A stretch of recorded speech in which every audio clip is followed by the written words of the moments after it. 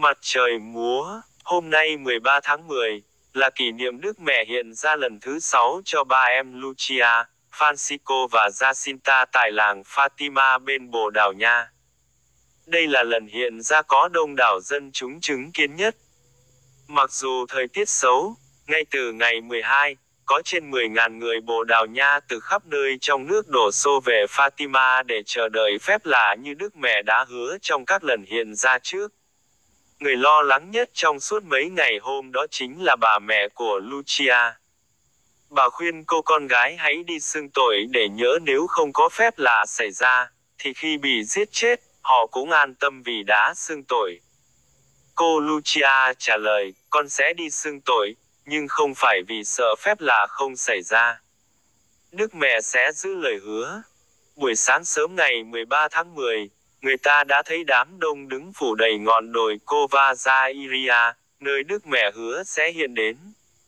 Dưới cơn mưa lất phất của những ngày đầu mùa thu, ai cũng cảm thấy lạnh cóng, nhưng đều hiệp ý với nhau trong lời kinh mân côi kính mẹ. Mọi người đều chăm chú hướng nhìn về ba em bé mục đồng, trong y phục sách dưới và bê bết những bùn. Lucia bắt đầu đọc kinh mân côi, bỗng cô hô lớn, xin mọi người hãy xếp dù lại. Với hai em Francisco và Jacinta, cô ra lệnh, hai em hãy quỳ xuống, vì Đức Mẹ đang hiện đến. Cùng với ba em, nhiều người đã nhìn thấy vệt sáng trên nền trời. Trong một cái nhìn vừa cảm thông và u buồn, Đức Mẹ nói với ba em bé, ta là Đức Mẹ Mân Côi. Ta muốn người ta xây một nhà nguyện tại đây để kính nhớ ta. Các con hãy tiếp tục lần hạt mỗi ngày và Đức Mẹ đã hứa sẽ nhận lời cầu xin của một số người mà Lucia đại diện trình lên mẹ. Nhưng mẹ cảnh cáo, đừng xúc phạm đến Chúa nữa, người ta đã xúc phạm quá đối rồi. Nói xong những điều đó, Đức Mẹ chỉ tay về hướng mặt trời. Trong cơn ngây ngất, Lucia đã thốt lên, xin mọi người hãy nhìn về mặt trời. Lạ lùng thay, ai cũng có thể nhìn về mặt trời mà không bị lóa mắt. Như một bánh xe cuồn cuộn lửa đỏ, ánh thái dương bỗng quay lượn, nhảy múa và toát ra những tia sáng muôn màu sắc. Rồi thình lình, từ trời cao, mặt trời bỗng đổ xuống như một trái bóng da khổng lồ. Trong cơn hốt hoảng, mọi người cảm thấy như mặt trời sắp rơi xuống, ai ai cũng nằm dạp xuống trên bãi cỏ và đấm ngực ăn năn như để chờ đợi giây phút cuối cùng của vũ trụ. Hiện tượng mặt trời nhảy múa và xa xuống mặt đất kéo dài trong vòng 2 phút. Khi mặt trời đã trở lại trạng thái bình thường, mọi người đều nhận thấy rằng, bãi cỏ ướt đẫm trong cơn mưa bỗng trở nên khô ráo.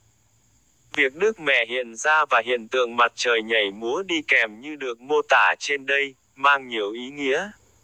Chính phủ cách mạng tại Bồ Đào Nha vào năm 1917 muốn đánh đổ những thứ mà họ gọi là huyền thoại tôn giáo, cũng như dẹp bỏ mọi thứ cuồng tín.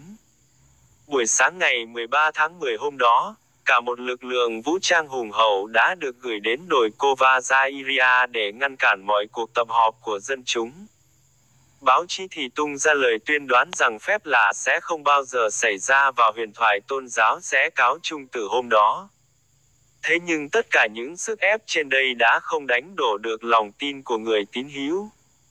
Phép lạ mặt trời múa vừa là một thể hiện của quyền năng của Thiên Chúa vừa là một lời mời gọi sám hối. Đệ nhất chiến tranh đã phát sinh nhiều làn sóng vô thần chủ trương tiêu diệt tôn giáo bằng bạo lực. Bên cạnh những chế độ độc tài chối bỏ quyền sống của con người, nhiều người cũng buông thả trong đời sống luân lý. Thế giới chỉ có thể cứu vãn được nếu con người biết hoán cải, đó là sứ điệp mà Đức Maria đã không ngừng lặp đi lặp lại tai Fatima và phương tiện để giúp con người hoán cải trước tiên đó là cầu nguyện. Cầu nguyện không những là quay trở lại với Chúa, nhưng còn là một cải đổi tương quan đối với người anh em. Lịch sử đang lập lại không ngừng. Quyền sống của con người đang bị chối bỏ nhiều nơi trên thế giới.